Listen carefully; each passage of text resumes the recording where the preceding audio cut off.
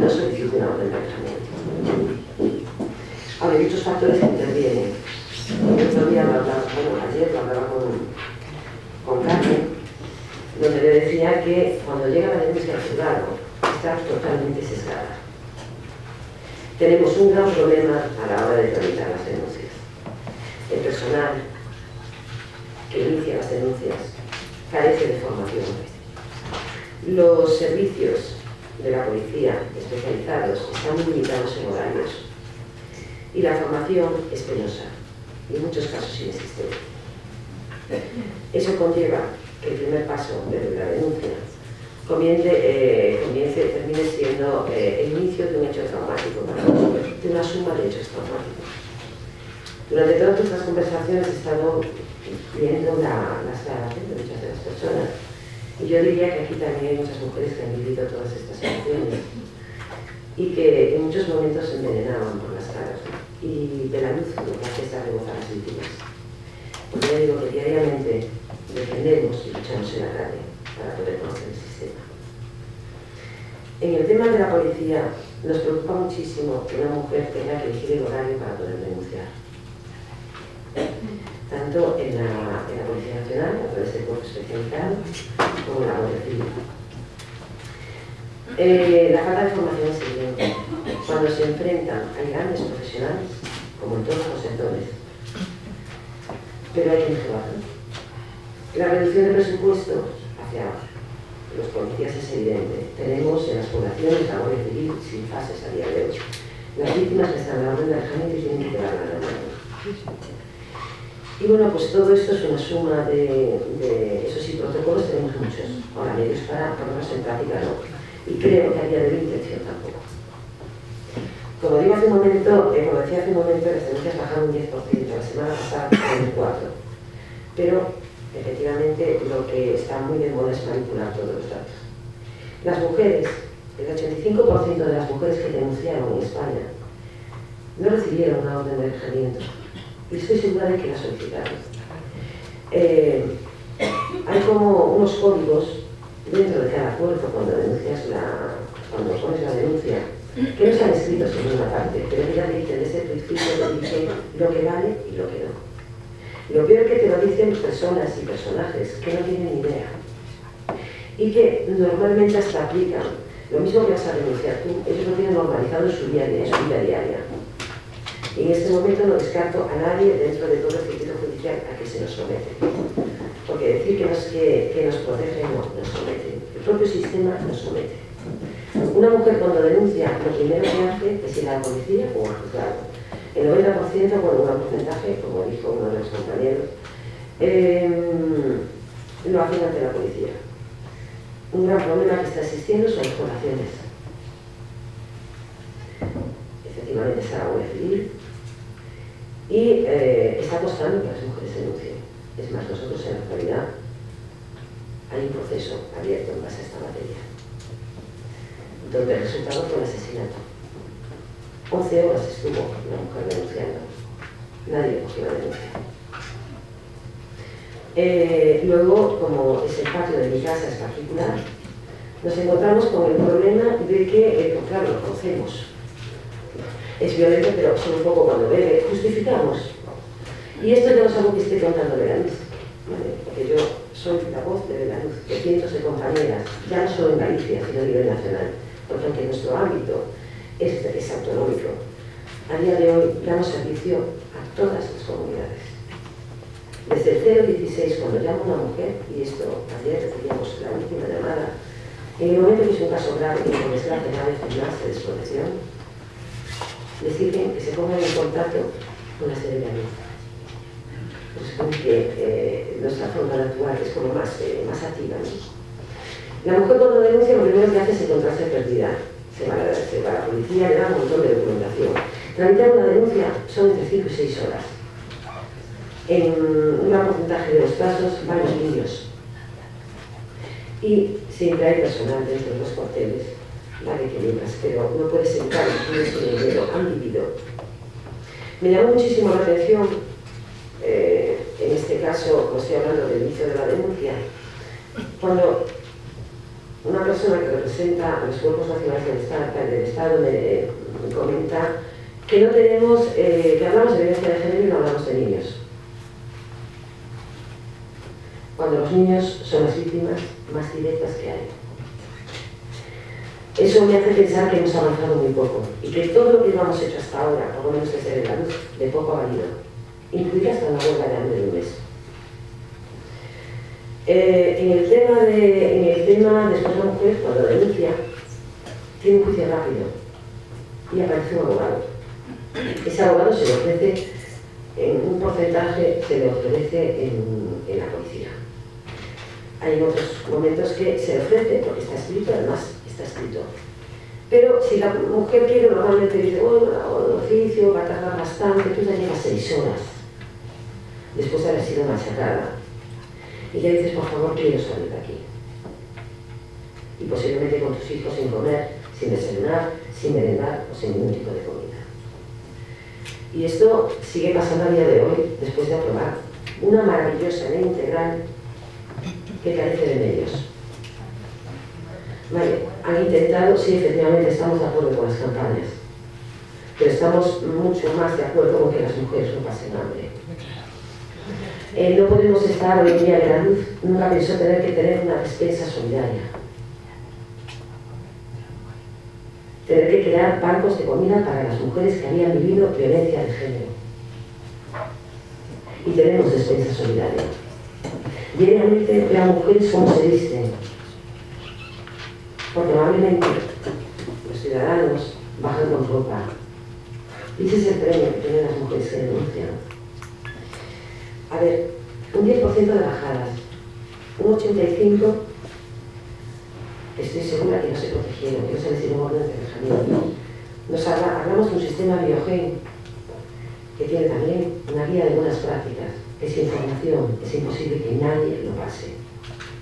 En Galicia, el 75% de las denuncias, y son datos que doy de, los diferentes ministerios y organismos, el 75% no tiene riesgo. Solo hubo riesgo extremo, y es algo que también se olvidó, existe inexistente, bajo, medio, alto y extremo. El extremo está en desusos, pero las mujeres siguen siendo asesinadas. Eh, en Galicia este año, durante el año pasado, hubo una mujer en riesgo extremo. Y así ha sido anualmente. Pero es un ejemplo, como es un ejemplo de otras comunidades tengo más frescos por los tiempos de Galicia en muchos más escasos. Órdenes de protección. ¿Cuántas mujeres recibieron alguna ayuda económica durante el año pasado? El 24%. Entre acceder a esas ayudas económicas la burocracia que hay es mortal.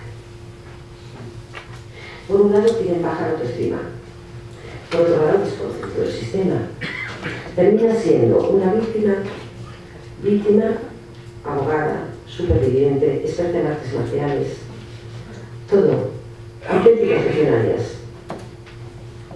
Yo no tengo una mujer en la asociación, una de mis compañeras, que yo no la mire todos los días y diga, Dios mío, es una heroína. Y seguimos vendiendo que hay salida. Nosotros nos preguntamos cómo, porque no la encontramos. Están mandando a todas las mujeres a la beneficencia. Nos encontramos en las zonas a mujeres solicitando ropa. Hoy en día nos ha ayudado la crisis, eso sí. ¿Cuándo empieza una crisis? La crisis, cuando denuncia. Y a veces tú, pero si la estaba machacando. Pero es que vas aumentando maltratadores, formas de maltrato. Lo primero es denuncia, se va a juzgar. El índice de sobreseimientos es el 57%. Nuestro querido Gallardón aprueba las tasas judiciales. Si le sobreseída no es reconocida como víctima Así que te quedas en la calle, pagando tasas judiciales y en una situación civil muy compleja. Porque claro, como eso de no hay pruebas más que suficientes, estamos hablando de que te encontrarás con la del maltratador, la pérdida de custodia o va a pedir solicitar la custodia de los menores. Claro, esa madre sabe que él es un maltratador y su deber es protegerlo. El maltratador hará uso del circuito judicial poniéndole denuncias diarias tenemos una mujer en la actualidad que tiene 72 juicios pendientes por no entregar a su hija, ahora su hija, a un abusador. que no está condenado todavía. Y la tenemos en arresto domiciliario durante todo este año. Y no es un caso aislado. Para ir a sus juicios de falta, tiene que pagar 400 euros de abogado y 300 de multa por proteger a sus hijos. Un grupo de padres se fue al Congreso de los Diputados, par de y modificó. 50 hombres modificaron la ley y eso se permitió. Y cada mujer que quiere proteger a su hijo tiene que ser condenada. Porque entendemos, somos incapaces de diferenciar que es un progenitor y una progenitora de un padre a una madre. Y eso que está escrito en el Código Civil, en el penal, en la Convención de los Derechos del Niño. Las mujeres hablan de que en el protocolo nos están diciendo que quieren abogados gratuitos y reducen el presupuesto hasta un 60% de formación durante este año, en el 2013, hasta un 60%. Por ejemplo, en Galicia fueron 900 mujeres las que, las que, las que accedieron a un abogado de oficio. Y el presupuesto 100.000 euros. 900 mujeres. Hay 5.200 denuncias. No superamos el 21-22% de mujeres que de alguna manera estamos protegiendo. De los menores son eternos silenciados e invisibilizados. Para nosotros, a día de hoy, que ha significado lo que es la puesta en práctica de integral de violencia de género, un gran negocio. Pero no para las víctimas. Empezaron a las denuncias falsas, las mujeres se hacen millonarias, se quedan con las viviendas. Yo no conozco mujeres, lo que sí veo es que hay casas de acogida, que la solución es mujer abandona. Y le llamamos protección, un sistema de protección. La mujer es golpeada, es vejada. Entendemos que cuando es golpeada es víctima. Si no, no. Un maltrato psicológico, a ver, ya tenemos, eh, ya nos catalogan como masoquistas. La mujer es masoquista. Tú te dejas pegar por cualquier persona. En este caso es por una sola. Luego tenemos un gran problema que los jueces han introducido lo han colocado como el de conflicto. Son incapaces de diferenciar lo que es conflicto de violencia. El conflicto es de dos. La violencia de género se somete a una misma mujer. Estoy cansada de las sentencias donde pone conflicto. Vale, les parece muy divertido para llegar a la población. Supongo que es por eso. Luego tenemos los psicosociales. En 20 minutos se resuelve la vida. 20 minutos con los niños, niños que tienen que decir que han sido golpeados, que han sido abusados. Eh, que dices tú, a ver, vamos a ver. Es imposible que un menor y una mujer. La mujer sí, porque dice, tienes que llegar, tienes que decir lo que te ha pasado. Pretendemos que una mujer en un minuto diga, he sido violada, me ha golpeado, me ha humillado, nos parece creo que hasta divertido. Y se lo cuentas a un señor que dice, soy tu abogado de oficio. Dime, ¿qué te ha pasado? Esto no me vale, ¿tienes pruebas? No, esto no se qué, no tengo tiempo de darle pruebas. Y en dos segundos te dicen, ¿eres víctima o no? O estás mintiendo. Pero bueno, puede ser que sea una instrucción. Esa instrucción se puede abrir, hay muchos, de hecho estamos hablando, el año pasado se condenaron, bueno, obtuvieron condena el 10% de las mujeres que denunciaron dentro de España. El 10%. Y continuamos hablando de que hay salida. Yo no la veremos en nosotros. Lo que me parece una gran pantomima todo lo que están presentando. Las campañas, perfecto. Estamos luchando queremos la igualdad. Pero no podemos llegar a la igualdad si no reconocemos esta gran pantomima. Una, necesitamos que las mujeres sean acompañadas desde el minuto cero. Si yo sé que hay grandes profesionales en los centros de información, en todo la vida y por haber. Pero las personas que lo están llevando se han acostumbrado a vivir muy cómodamente. Nadie les ha preguntado qué hacían, ni con el dinero, ni con nada. No, no podemos estar moviendo tantos millones y que nadie pregunte dónde se meten.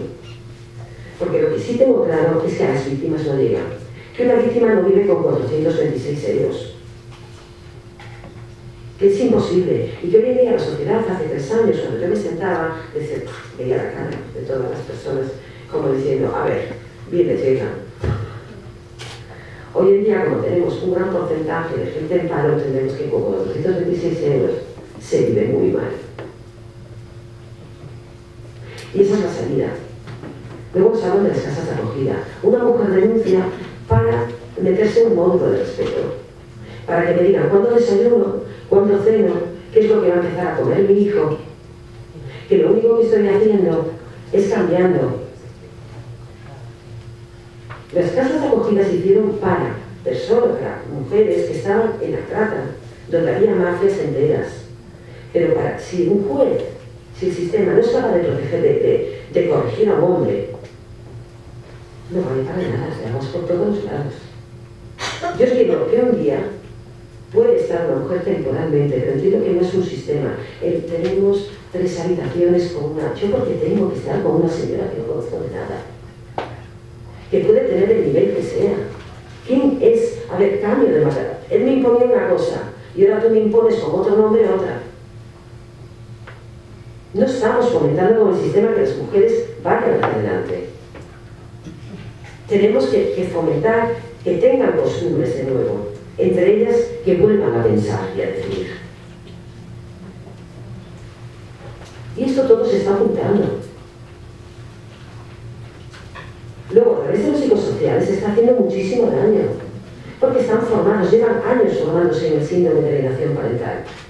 Un ejemplo de un constructo que salió y fue mal del negocio de los psicólogos